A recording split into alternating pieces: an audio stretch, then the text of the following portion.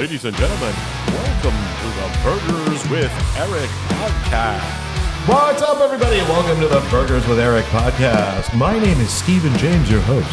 To my left is the Juicy Lucy, the Big Moose, the Airbnb king of South Florida, Eric Weingart. What to do, baby? What's up, homie? How you doing, man? Happy belated, by the way. Yeah, thank you. Appreciate that.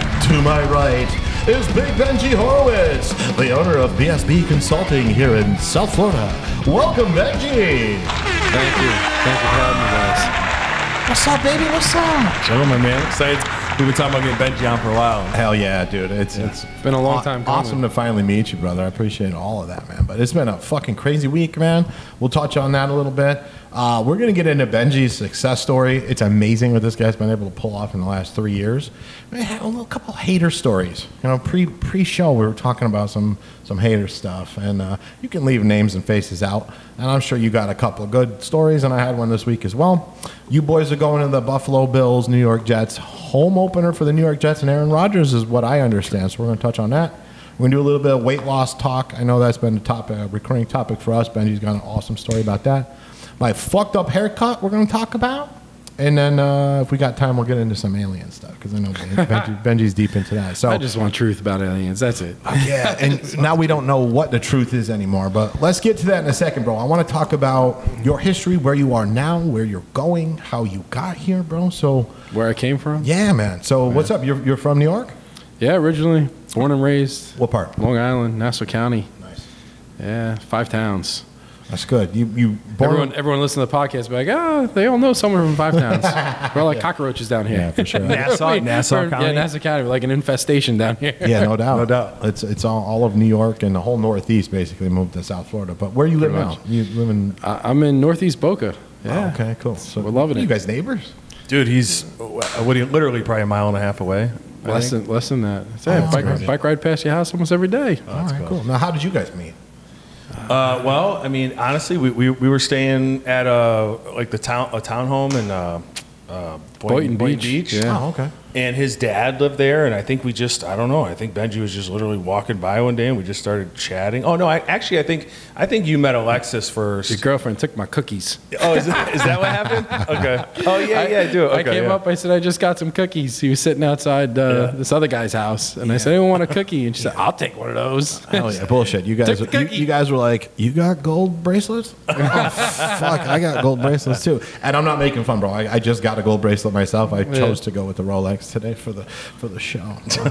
that's uh, that's cool. So you guys became fast friends then? Yeah. pretty much. Yeah. cool. And I think, and that's you know, it's kind of touch on that too. Like, dude, that's like, like let's say, let's say you have your hometown buddies, right? You know, and you've got your hometown buddies. Listen, some of them are lifelong friends, but sometimes what what keeps those friendships really is sometimes uh, sometimes your personalities and ambitions change. So when you meet somebody, you know, that's like, oh, hey, I moved here for these specific four or five reasons, you already have four or five things instantly in common with one another, same belief systems, goals. So it's, it's pretty easy to hit it off. You're speaking you know? each other's language, dude. Yeah. For sure, for sure. So talk to me, brother. BSB Consultants. Um, you know, we kind of got into it pre-show a little bit. Now, you help small business owners or Small, to medium, large, everything. Yeah, our, our smallest client that we serve has got two employees. Yeah. Our largest uh, client with U.S.-based employees has uh, about 5,000, but globally 125,000 Holy shit. employees around the world. And what are you doing for them?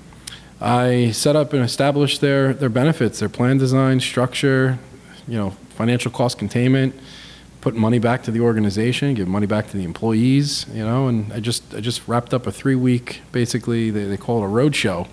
You know, Yeah. Traveling all over the U.S. I was on probably 20 different flights.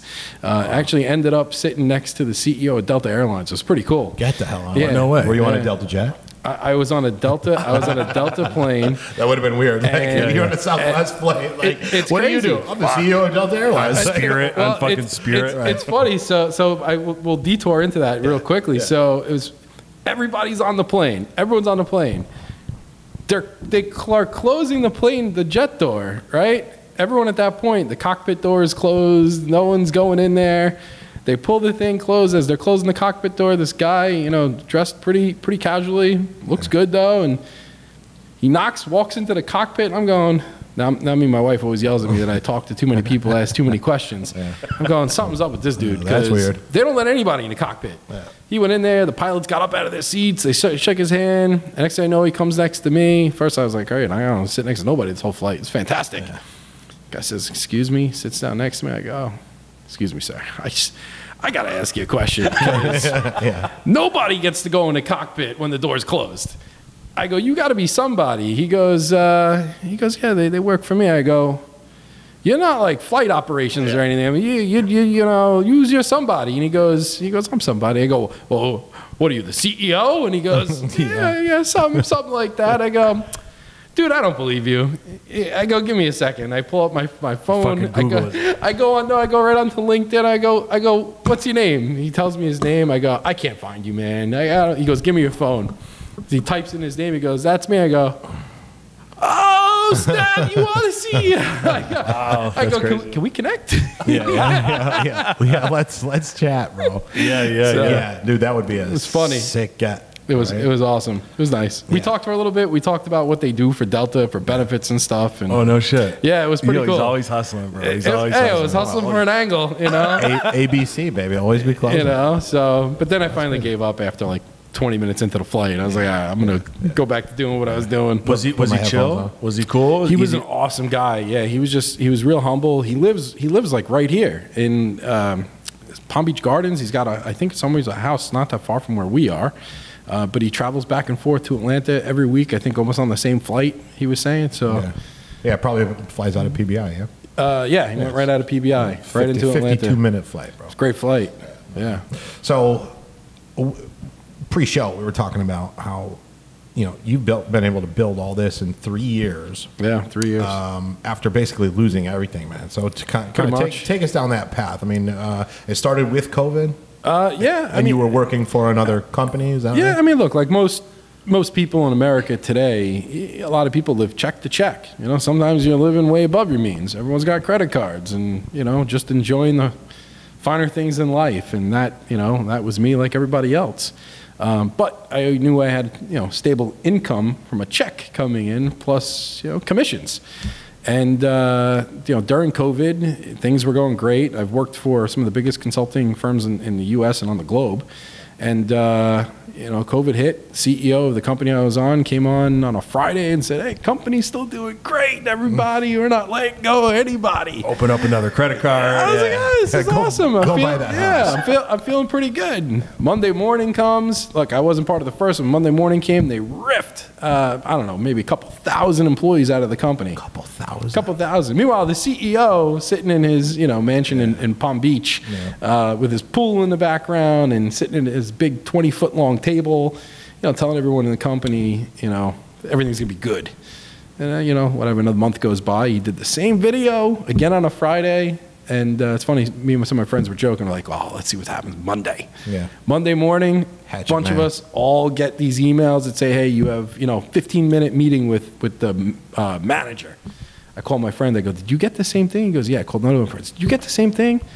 He goes, Benji, you're first. I go, oh, I'll let you know what happens. I pop on, and it's me, HR, and this guy who I didn't like. The, the hatchet, the hatchet man. Yeah, and they, they said, hey, just sorry, man. We're uh, we got to downsize. I said, I got a six figure deal. I'm closing today. I worked through the weekend. Who's who's ta- who's taking care of that? They go, yeah, it's not your problem anymore. Yeah, we'll, don't worry we'll- about it. We're, we'll take care of that for you. I went, really now? Thanks for the free money. Yeah, I said, good luck. Good luck to you. And uh, unfortunately, in, in uh, the state of New York, um, which I didn't know, I, I was on a, um, I was on what they call uh, a bonus program, not a commission program. And in the state, and in the state of New York, if you're let go prior to bonuses being paid, you don't get paid the bonus. Default.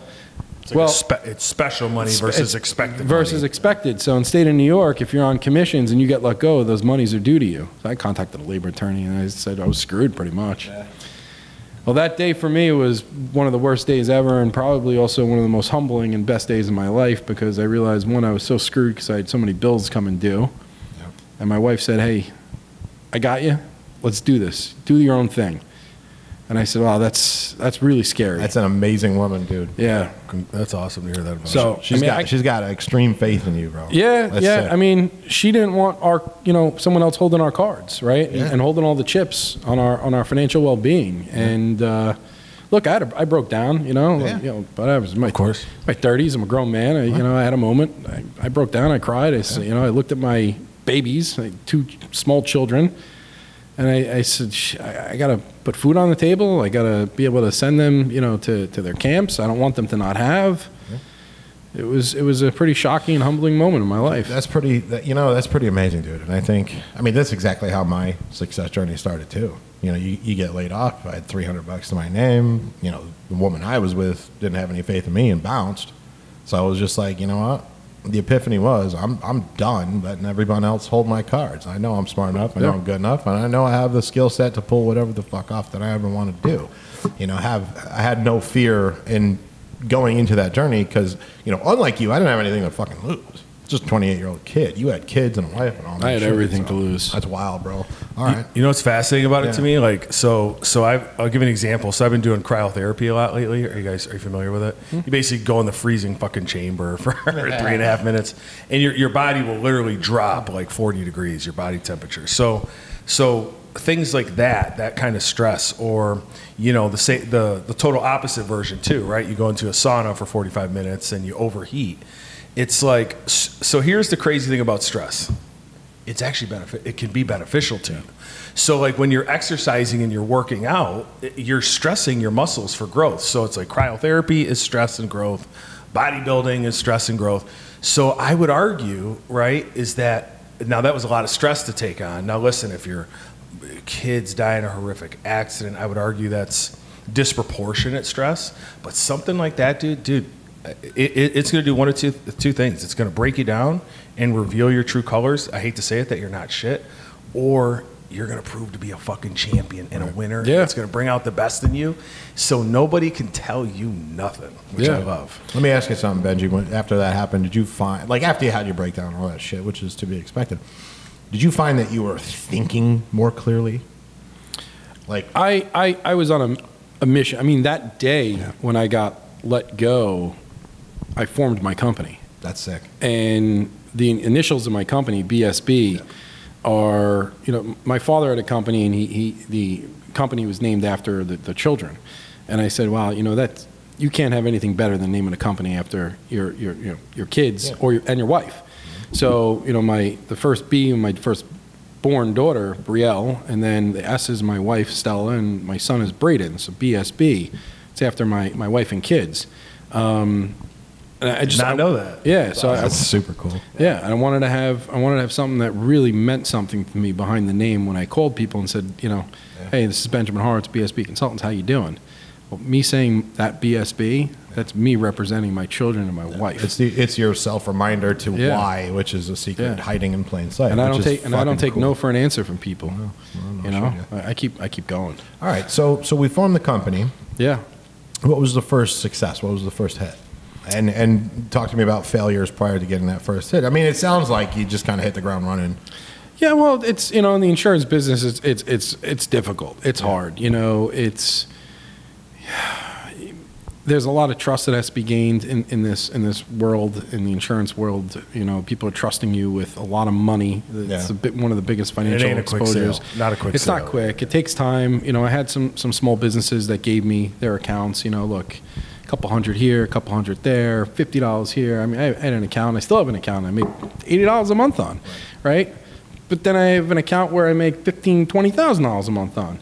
I love my eighty dollar account the same as I love my fifteen to twenty thousand dollar account. And you know what?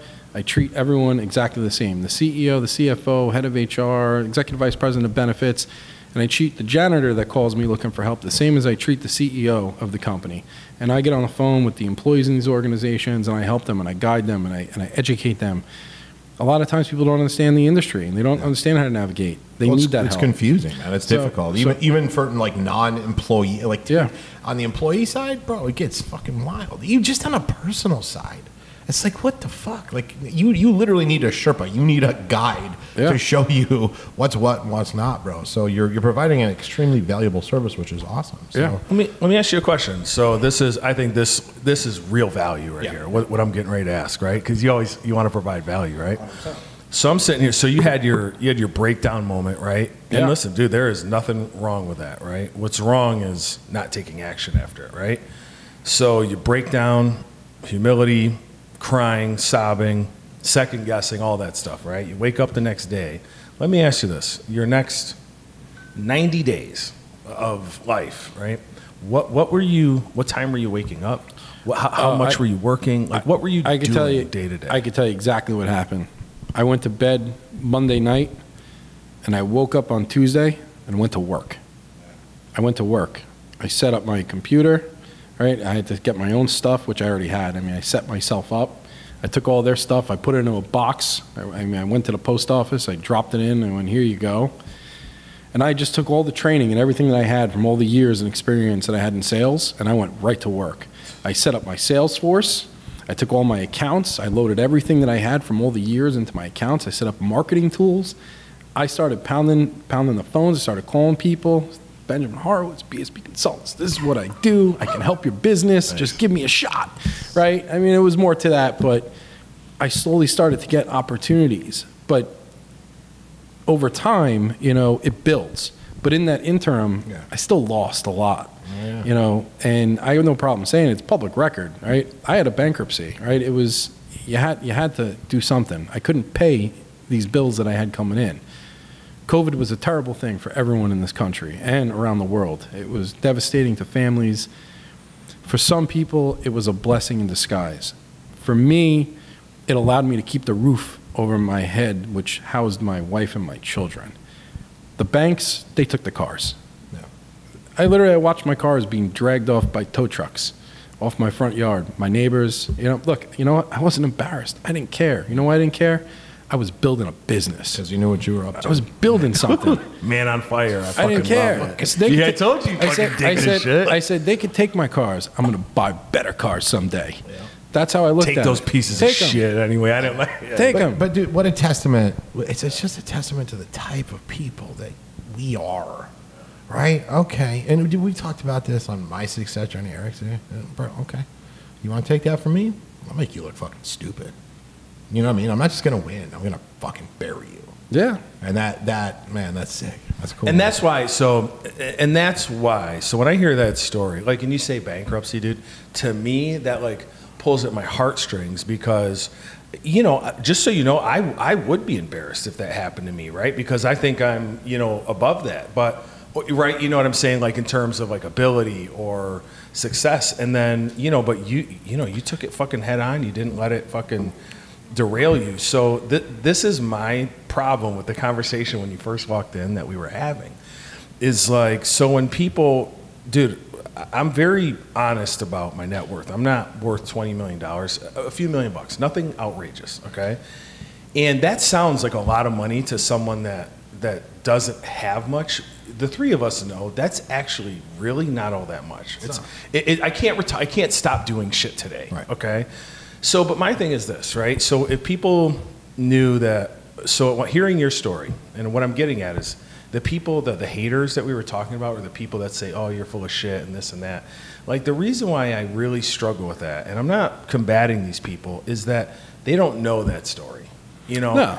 Uh, they don't know you got one similar i have one similar too i don't have to go on and on but like but that story is why you deserve what you have Yeah. you know and and the, their story is why they deserve what they don't have exactly, or So- what they do have. you know um, so because again, man, it's just excuses and hate and fear and all that shit that we talked about. But I want to, I want to get into the haters. I want to, and I want to Yeah, hear, yeah. I want to hear that story again. But we're we're just kind of like in the beginning of Okay. your of your success. Yeah. journey. So the first ninety days, you're pounding it.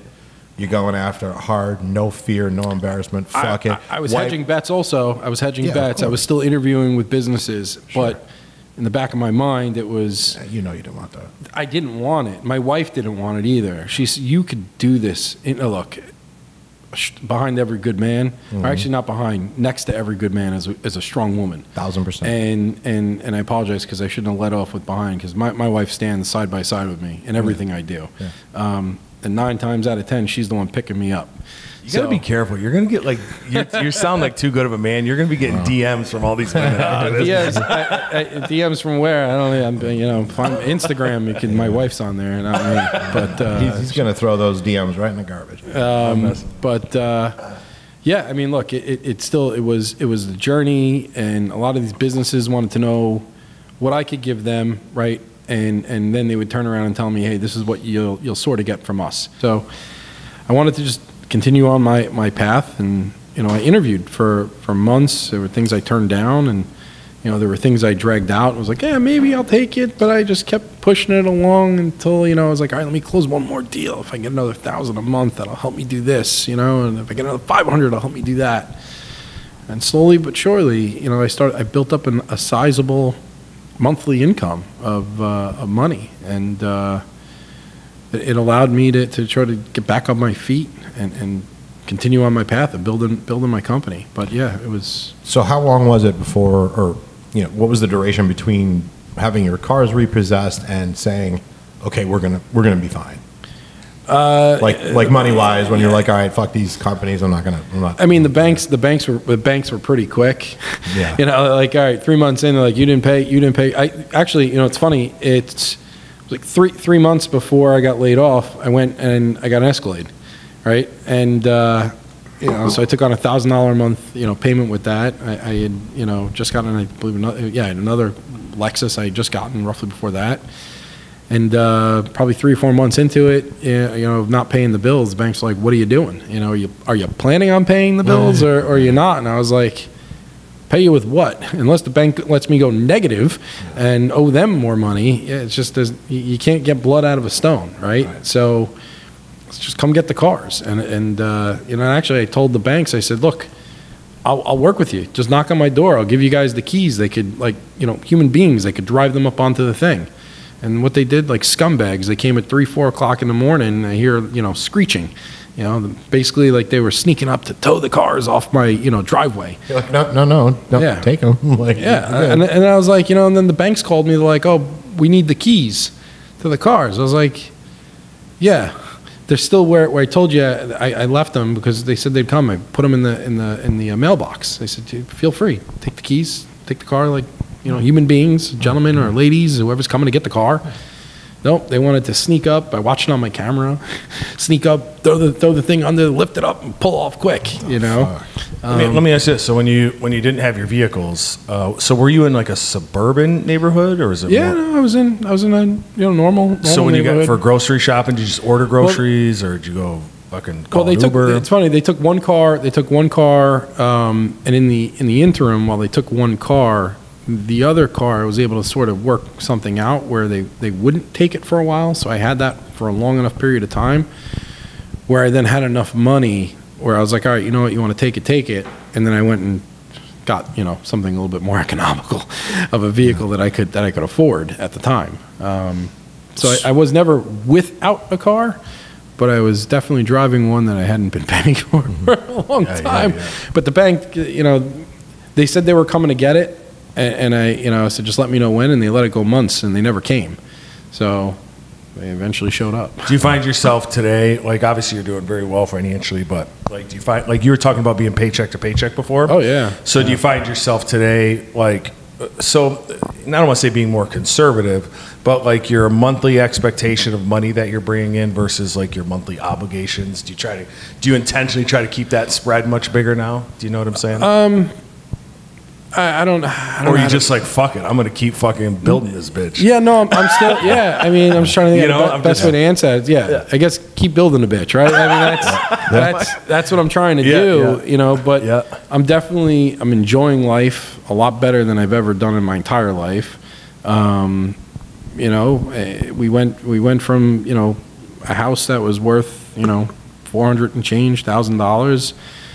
Got out of it for some decent money, you know, at the at the height of, of the pandemic, and you know, thank thank God and, and thank you know everything that I've done in business. You know, was able to afford a million plus dollar house here, and, and you know, beautiful Boca, sunny Florida, um, and and get you know some of the nicer things you know that I one didn't ever really have, and two now I can afford these things and I could do nice things. And most importantly it's it's about all the things I can do for my children, Yeah. right? And it's don't, dude, that's fucking wild to me. So like, like, like for me, Ben- Benji, I've been like good for probably 14 years now. Right? I've been on my own for almost 16. Um, and we told the story before where, you know, the first check I got from affiliate marketing was like 4,700 bucks, and that like that fucking feeling was crazy. But I was 28. You know, I wasn't married, didn't have no fucking kids. Like, bro, your your feeling of success and what you're seeing now is new is newer to you but but but your why is like way fucking beyond what mine is bro was right? It, it Yeah. is it is now. It's it's my why now but you have that fucking built in which is crazy because i guess what, where i'm trying to get at with this is dude enjoy this because you'll never get it back. You can only just maintain and or grow another fucking 10 grand a month isn't going to change your life bro No, You know no, what I'm it's saying? not.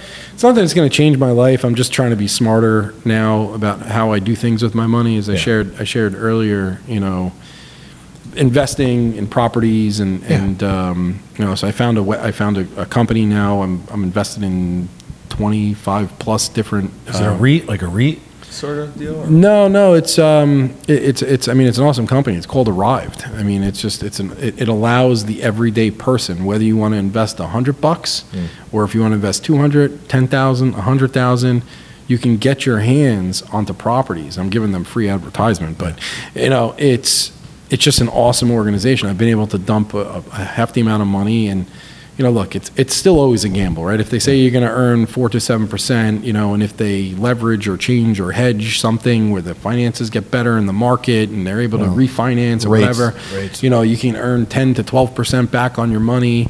Look, it's better than getting point zero zero one right out of the bank. Oh, oh, no doubt now, now So- it's five pop So you know, I'll I'll, I'll take look. I'll take my gamble. I'll put my money there. You know, it's it's investing. You know, putting as much as you can into the retirement accounts.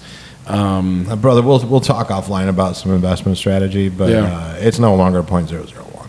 So Steve, so it's funny. Just so you know, Steve is more conservative, and that's pretty fascinating too. Because I wonder if it's because because of it's just wild. You two are totally different, which is fascinating to see. Different different times of success and different um, outlooks financially. Like Benny's still a little bit of a risk taker. You're he's very conservative, very conservative.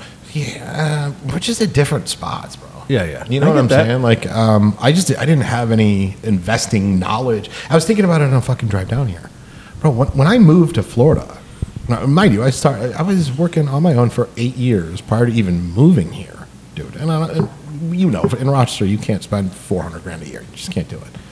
Uh, I had like five hundred and seventy thousand dollars just sitting in a fucking checking account, right? With earning nothing, not invested anywhere. Like I had some small little, you know, financial advisor up in Rochester and all that shit. And it wasn't until I got around, like multi multi millionaires that kind of shared their investment investment strategies and their, uh, you know, their contacts in the investing world that I was able to make my play. So you know, I was I, my parents were very fiscally conservative. You know, I've taken risks. I've done hard money lending. I've done this, that, and the other thing. Where I am right now is at, because we sold our company. I am in the middle of building up, you know, my my my business again with a big chunk of money that I got, which is cool because Justin and I just got off the phone with uh, a prospective buyer for all of the sites that I built this year for almost the same amount of money that we sold Nexus offers for. Oh, very cool. Yeah, dude. So we might be like super good here. That was a very preliminary thing. Nobody scoffed at anything. I got to get the numbers together. Point is, all my liquid cash that's parked currently, just due to the economic climate, is earning me 5%, just sitting there, doing nothing. When I moved down here with 500,000, it was 0.001. Yeah. So we'll, we'll talk off camera about that. So what- Annually, right?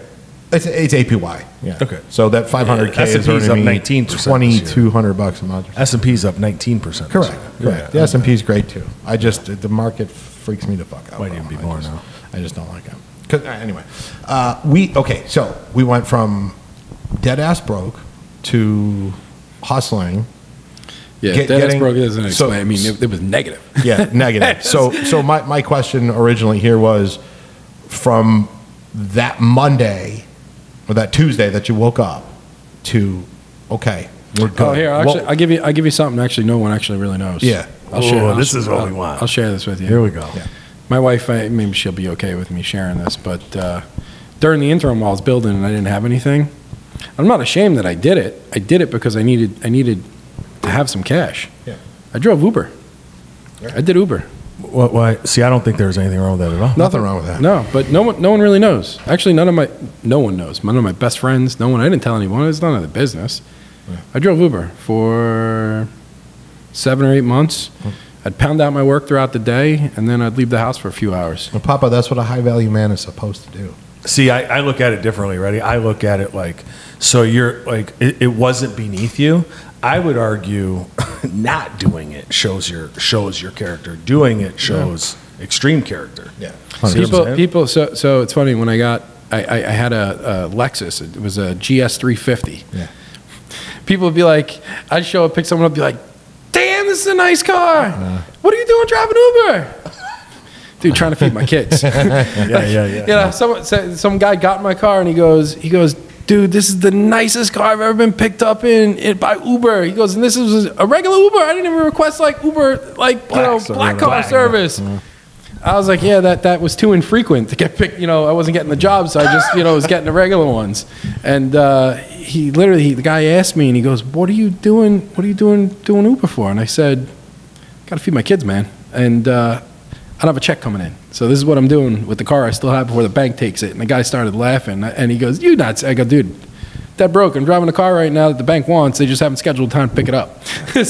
so No, I'm making money you, with dude. it. So, you know? and that's good for something actually nobody knows. Yeah. Well, now everybody who will listen to your podcast That's a badge knows. of, bro. That's a badge of honor. Wear that proud. Hundred fucking percent. Wear that proud. Hundred percent, dude. So what? What was it? I wasn't What- ashamed by it either. Benji, what was the time frame? So from dead broke to all right, we're good. Let's move to Florida. What was that time? Oh, I mean, it before I was somewhat. and I'm going somewhere with this. Yeah, I Like, mean, before I was somewhat financially okay. It was. It was. When I say financially okay, I was. I was. Getting, Could you getting- take a deep breath? by. A deep breath. I never take a deep breath. I mean, that just that's. I mean, being honest, you know, wife, kids, and now all the additional bills. Right? It's. I'm never taking a deep breath. Uh, You know, it's. It's. It was about a year and change, right? Um, and then before it was like, all right, well, we got enough coming in now where maybe we could figure out some other alternatives within within what we want to do with our lives. It's about another year, and, and then it was like, all right, we got we got a stable client base now. And uh, here, I'll give you some history. Yeah. Benefit brokers, and this is factual. A good benefit broker will get about five clients, decent, Yeah. decent clients in a given year. I'm three years in. I have over 90 clients. Wow. Over 90. That's sick. My market, sh- Thirty my, a year. my market share, six x six hundred percent better than the next broker. my market share is ridiculous, Yeah. ridiculous. And my client base that goes from New York to California, to Hawaii, uh, Texas, Florida, middle of the country. I have international clients that set up operations here. It, my my market share, every and any brokerage house would want it, and they do. They do want it. I've had I've had organizations that have reached out. I could sell my company today, and I could walk away with buku millions. Yeah. My wife won't let me, No, but don't. no, because I, I just don't want to give it up. there's going to be many more buku millions as you keep building, brother. Yeah, I, I, I like having my business. It means something to me. Yeah. I would never just sell it and shut it down.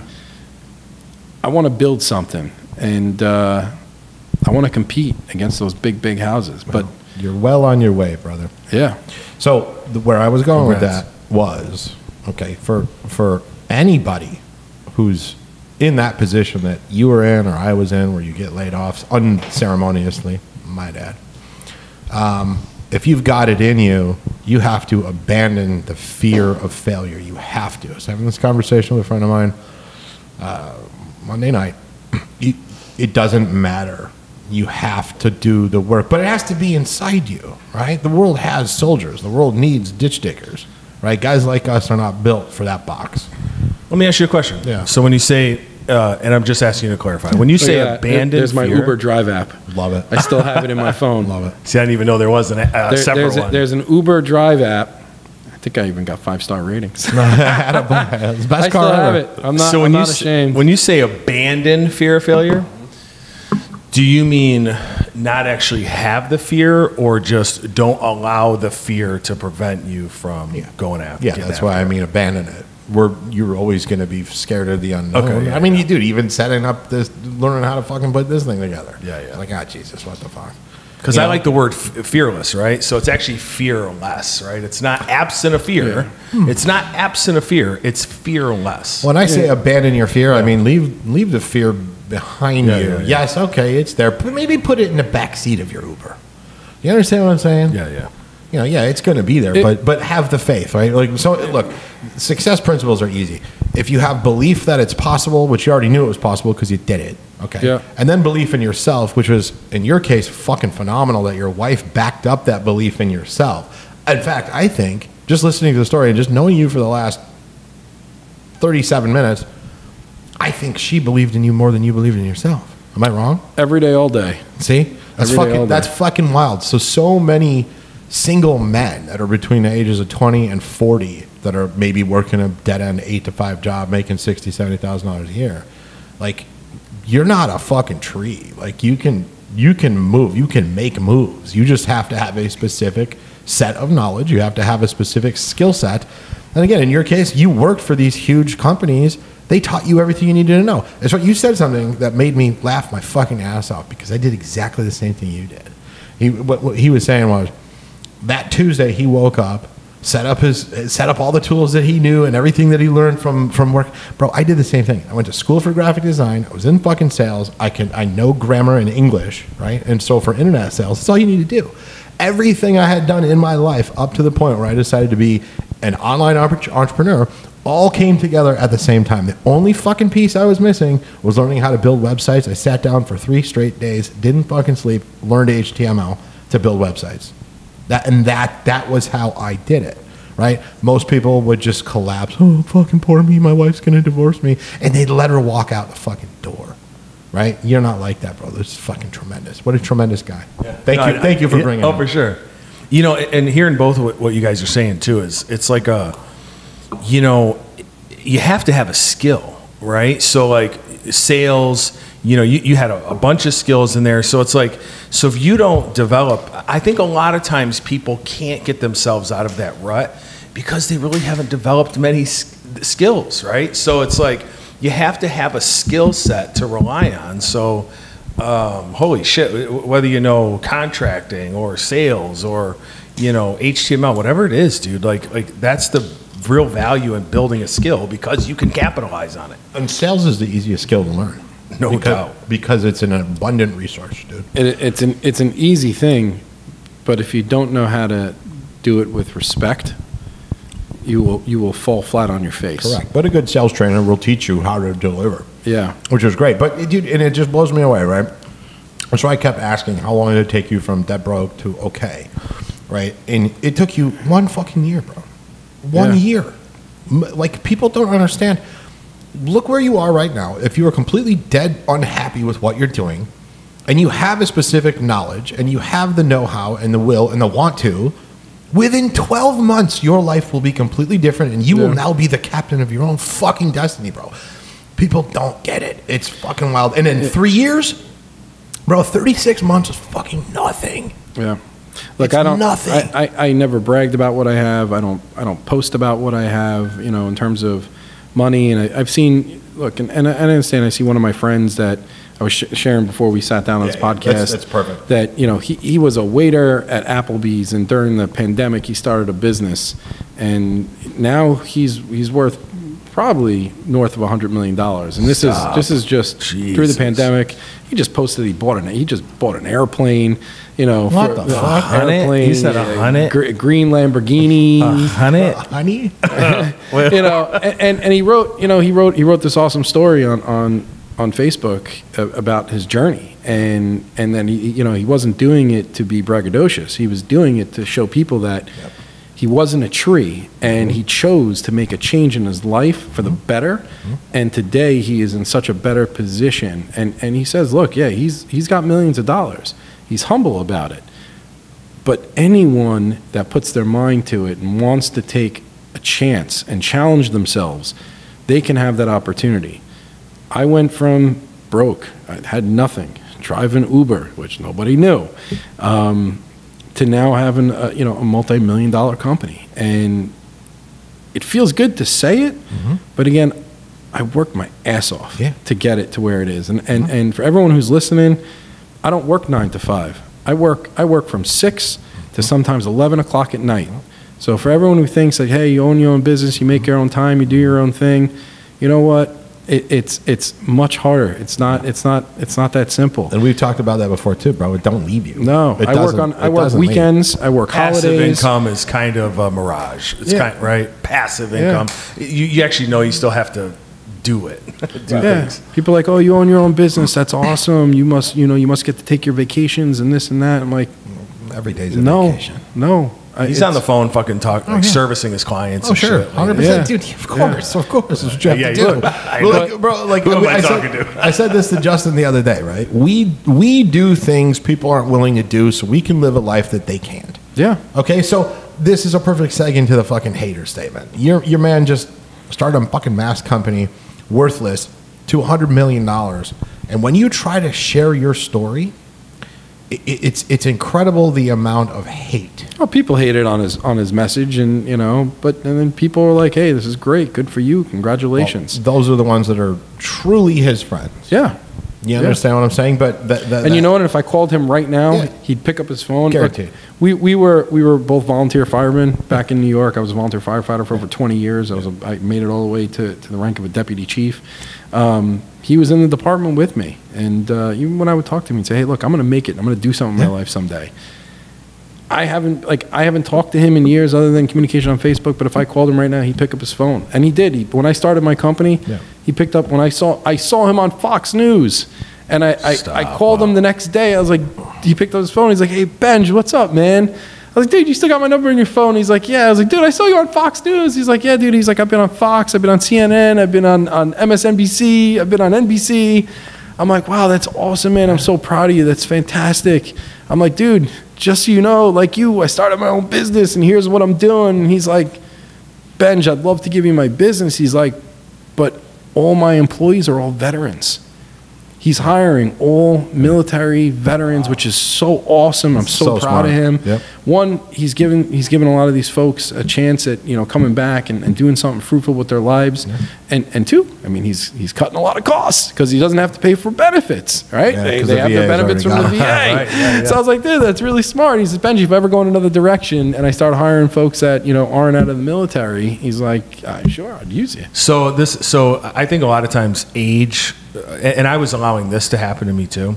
Whereas I thought, and everybody thinks they're old. Twenty-eight year old thinks they're old. Thirty-eight year old. I think he just turned 30, by the way. okay. Okay. So when did he? So when did he? So that's kind of what I'm saying, right? He's, and this is for like a value build for like someone who's watching this. So so he was just a regular Joe, a Yeah. firefighter, uh, working at Applebee's, right on, on the side. And what age did he make this monumental leap? Twenty-seven.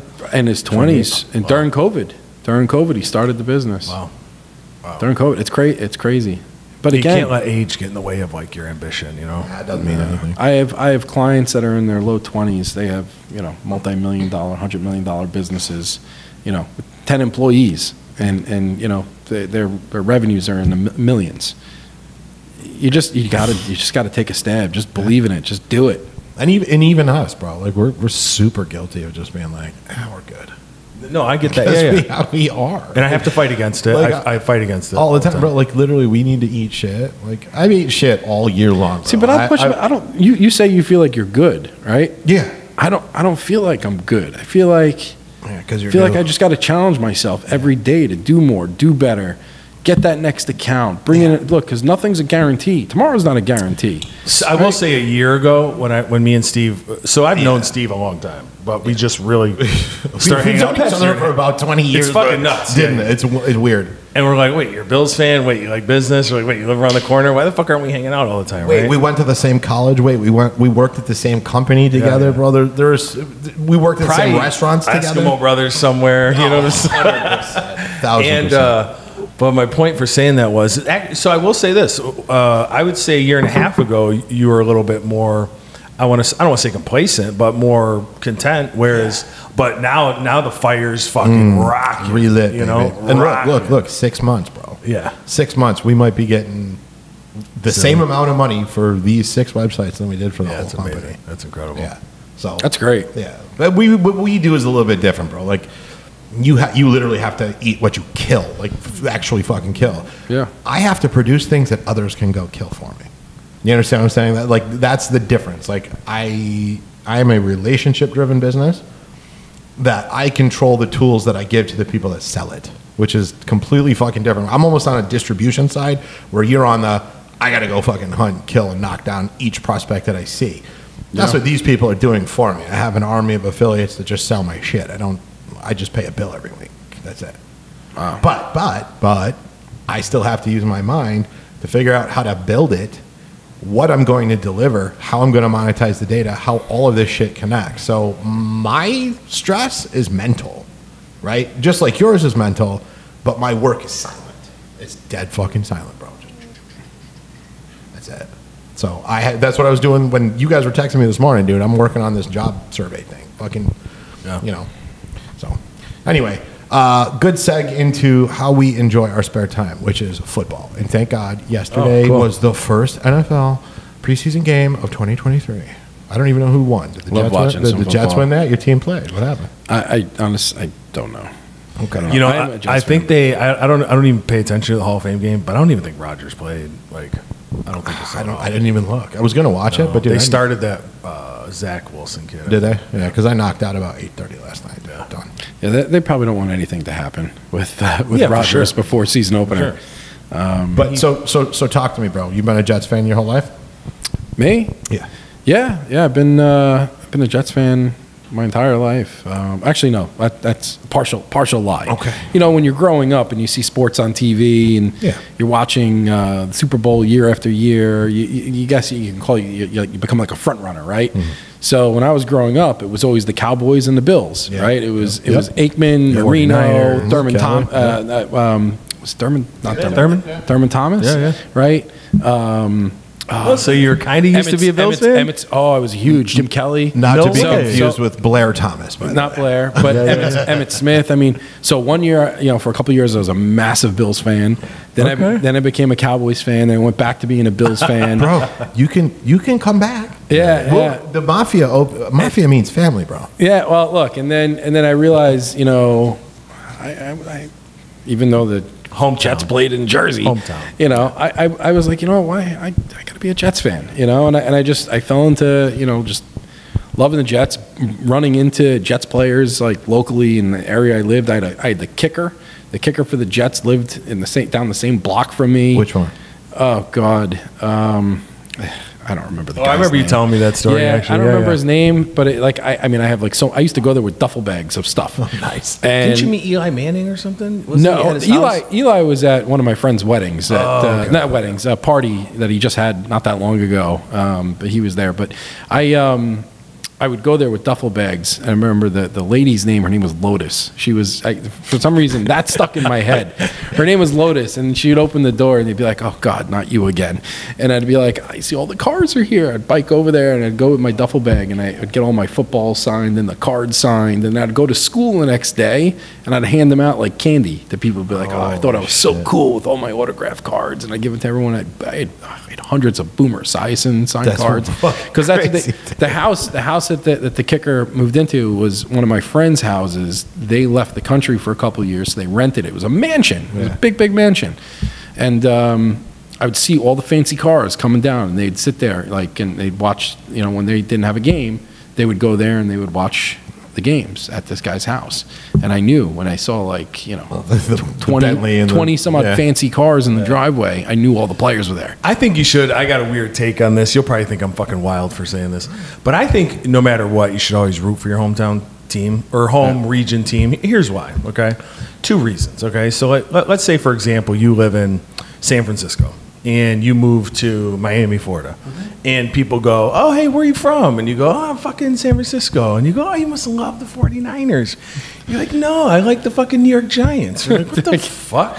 Like, like, like Oh, I think oh, you should be. Let, let, let me run with this. Go. feel me? Yeah, go ahead. Finish the no, thought. no, but to me, it's it's the same thing like I'll this. never it's a like, Dolphin hey, fan. I'll who- never root Who for the you rooting for in the war? Iraq or the United States? Oh, I'm going to you know push for the Iraqis. You know, I think that you see what I'm saying. Like it's like it's yes. tribalism at its best. Fucking Dude. root for your hometown. Bro, how many dolphin friends do you have? It fucking drives me nuts. What the fuck? You grew up in Greece, New York. drives me fucking crazy? We live 45 fucking minutes away from Orchard Park, and you're a fan of the Miami Dolphins? the only ex- what the fuck is wrong with you? You've never even set foot in the state. Oh, it drives me nuts. What? Oh, oh and, now, and those Dolphin fans?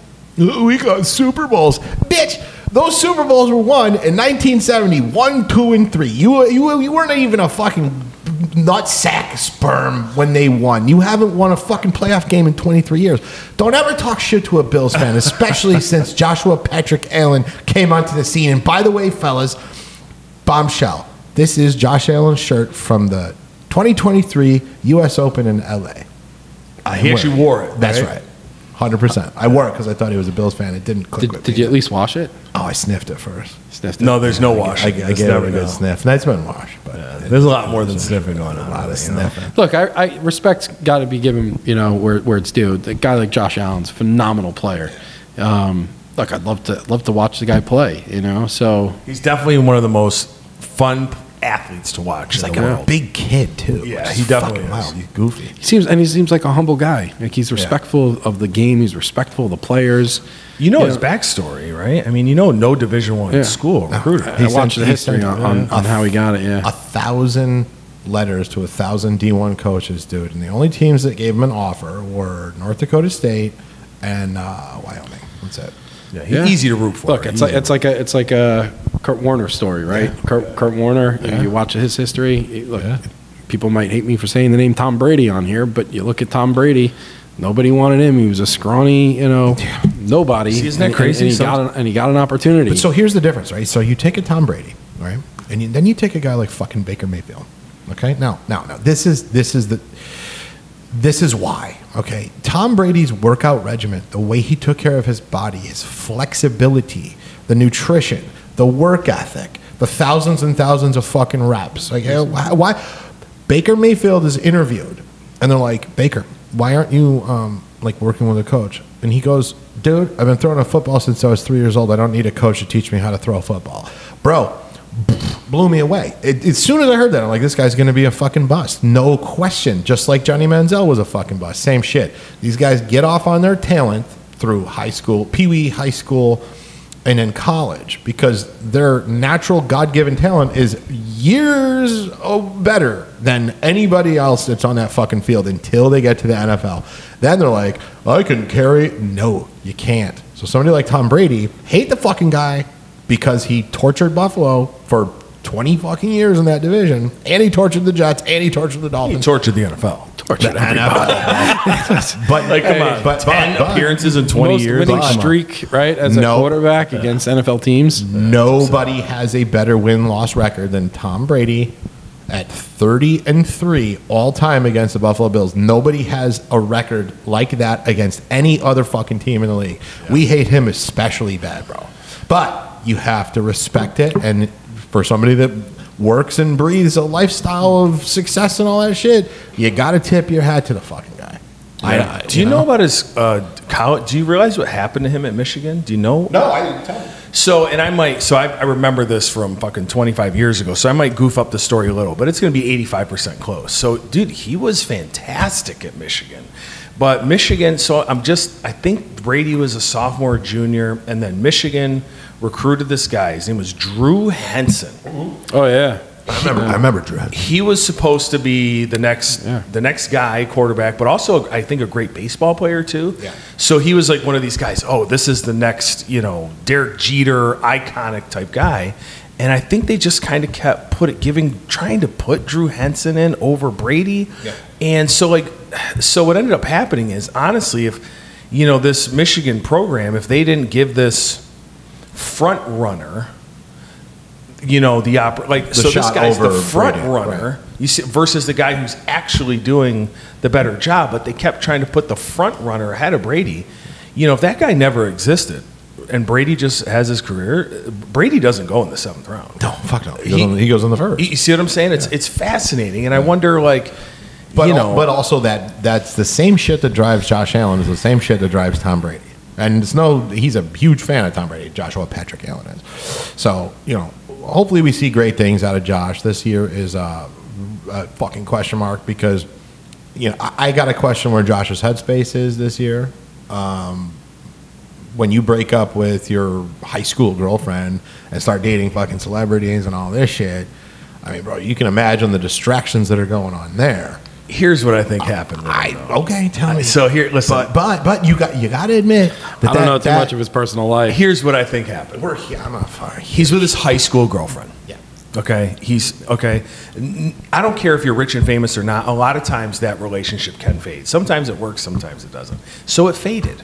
I think he got a taste. I think he's actually a very good human. I don't think he's a dog, but I think he, you know, I think he probably went off the deep end for 60 to 90 days. Probably took fucking 58 models to Pound Town, but now he's now he's in a serious relationship again, and so I think he's centered again. But I- so I think he got the demon out. I think he got I his. fucking hope so for our Lombardi chances. of him, so.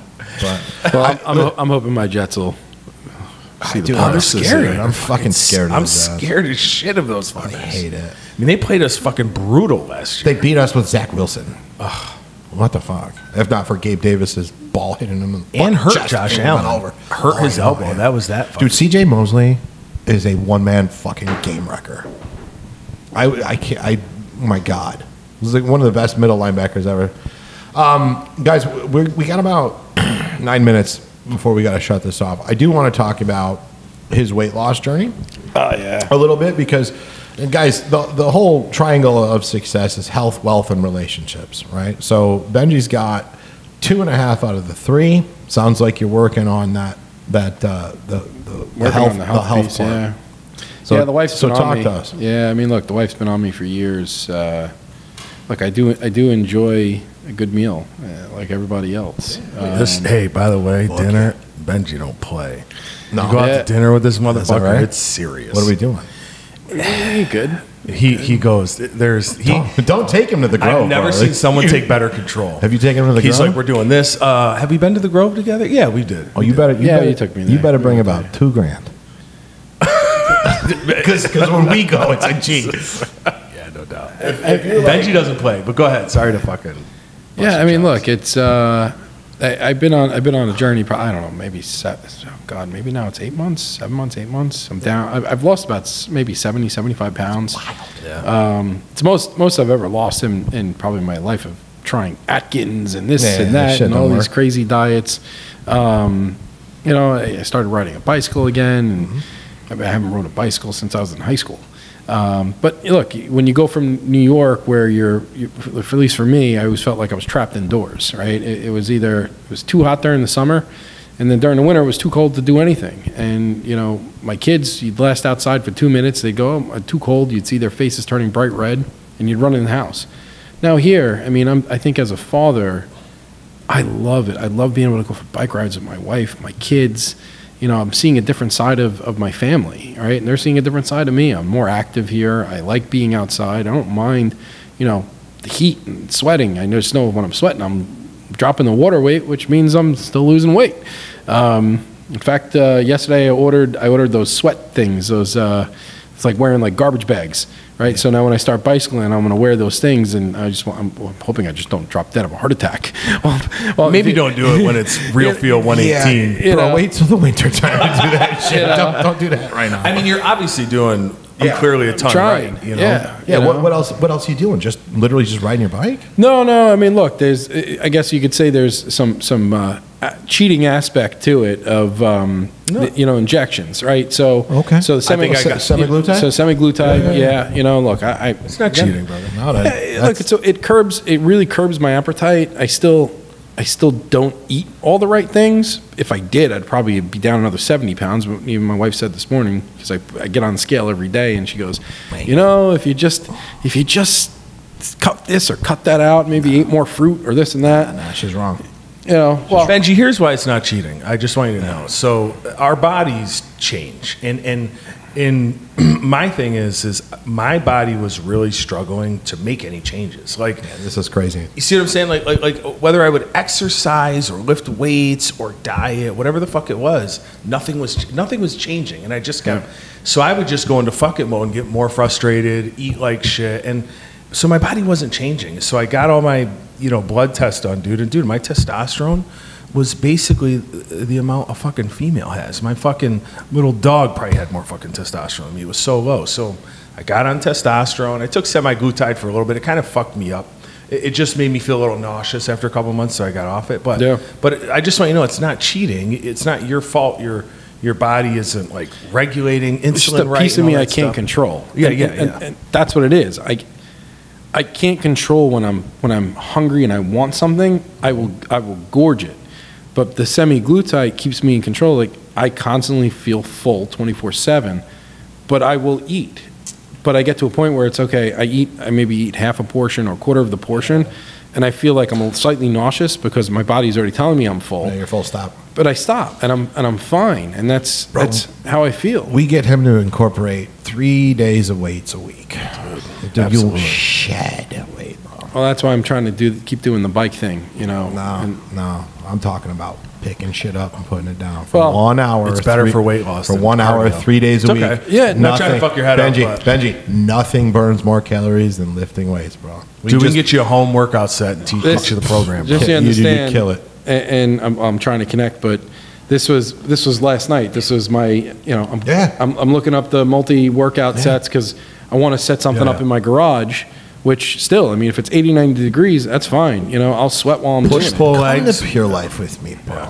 I don't know the gym, the gym atmosphere. I've, I've tried it. I've look, I've, I've been Ours is so different, dude. Yeah, I've been a part of gyms my whole life. Yeah. Uh, just that, I look, I, I took gym memberships just to say I had a gym membership, right? And and and and, And they're you know, banking on that. Yeah, I you got know, um, I mean, crap. When I moved down to when I so I went to I went to Lynn University when I moved down to Boca uh, back in 2000.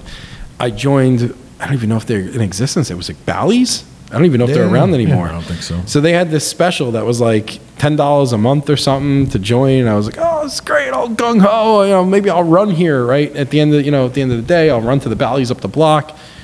I think I maybe went like three times, and then I stopped going, and uh, the bills kept coming. Oh, you yeah. know, and I finally had to pay them off to get out of the contract. What got you? What got you inspired to uh, start the weight loss journey? Um, I want to be around for my kids. Yeah. You know, I want to I want to live a longer life with my wife. Um, one, I, I don't think I ever want to picture my wife with someone else, and I don't think I ever want to picture my children crying over my grave anytime soon. 100%. And that's, I want to walk my my daughter down the aisle. I want some man at some point in life to ask me, because if he doesn't, I'm gonna beat the hell out of him. um, you know, and I, and I want to be around. I want to be around to, you know, high five my son when he's like, "Dad, look at that! I got that," and I'm like, "Yo, good for you, kid." All right, like Yeah. taking after taking after pops. You know, um, BSB baby, that's awesome. yeah, you know, I I, I want to be around for my kids. You know, I, I look at myself now. I'm, I'm 40, right? My, my kids are my kids are five and six. Mathematically, when I when I do the math in my head, there's only so long I can hope to live that I know I'm only going to see my kids at least until they're maybe in their 40s. That's if I'm lucky, Maybe, right? right. If I'm lucky, Right. That's that's a scary thing for me. That's reality. Dude, you I had. I had my kids at 40.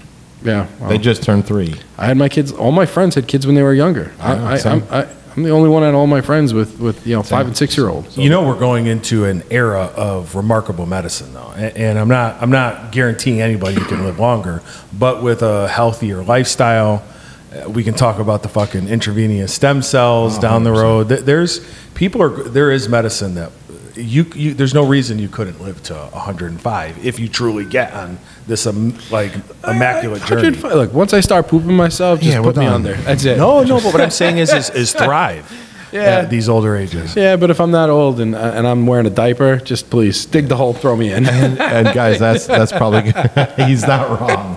But that, that's probably a great great spot to wrap it, bro. We're about an hour three. Yeah. Okay. So, Benji, this was fucking awesome. Bro. Yeah, man. Really Thank nice you. to Thank meet you, you dude. We, you live right around the corner. There's no reason we can't get you on. Yeah. Uh, uh in fact, know, why don't, why don't we're going to dinner tomorrow? Why don't you bring you and your wife? Uh, what's tomorrow? Tomorrow. Saturday tomorrow night, I think I have a reservation right. somewhere. Well, we'll get we'll, we'll get it circle back on that one. Okay. We'll get it working, baby. Yeah. Benji, thank you so much, ladies and gentlemen. Thank you for listening to the Burgers with Eric podcast. You can find new episodes on Spotify on Monday and YouTube on Saturday.